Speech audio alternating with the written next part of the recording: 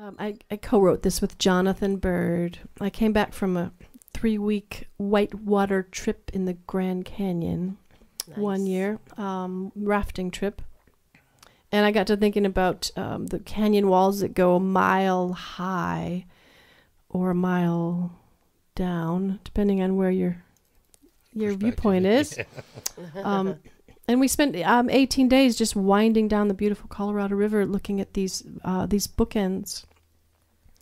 And um, I got to thinking about the space between things and the space between um, me and the people I love when I'm away from them, and then me and the other things when I'm with the people I love. And um, so this this came out of that trip, and and the idea that. Um, love is everywhere, even when you can't um, quite see it. The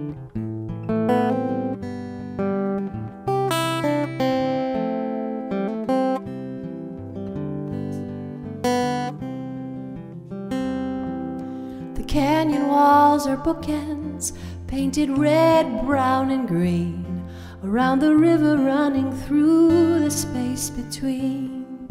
And the water tells a story as the current sets the scene, turning pages in the space between.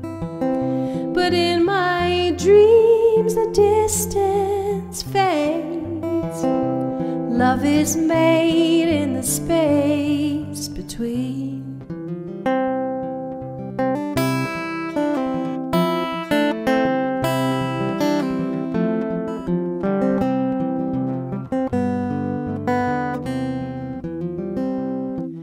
Inside the burning canyon, as the moon began to rise, I took your hand and watched the water through your eyes. We walked together in the sand, knowing that the wind would leave no trace of the place that we'd been. But in my dreams, the distance fades. Our love was made in the space between.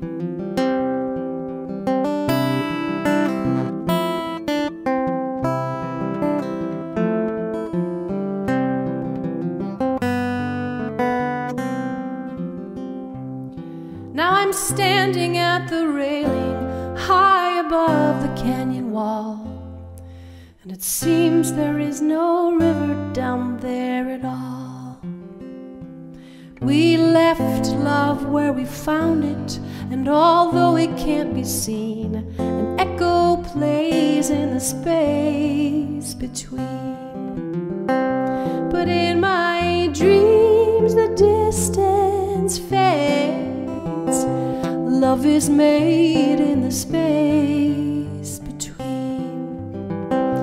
In my dreams, the distance fades.